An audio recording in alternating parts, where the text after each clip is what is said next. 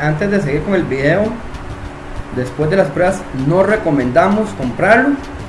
Recuerde que este es el detector de humo.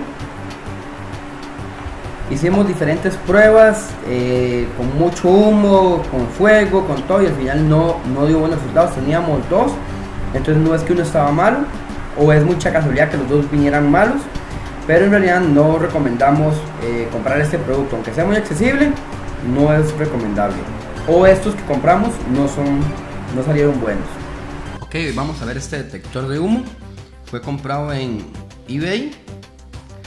Eh, tiene un precio muy accesible. Eh, vamos a ver qué trae. Así llega.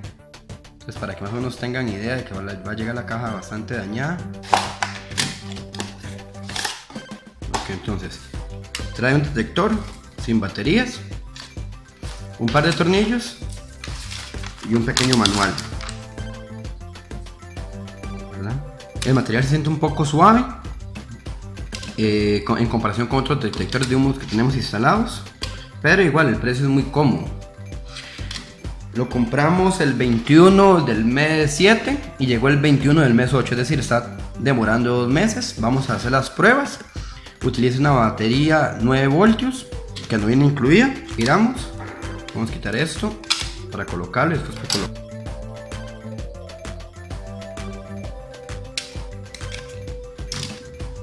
Ok, vamos a hacer la prueba de el testeo, a ver cómo suena.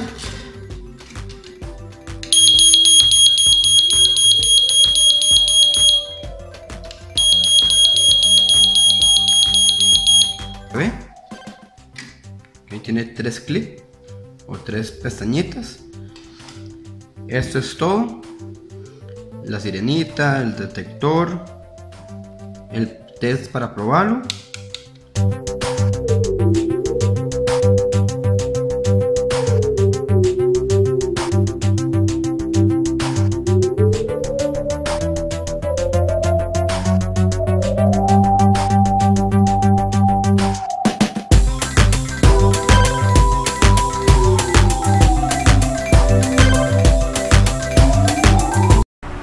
Después de las pruebas no recomendamos comprarlo.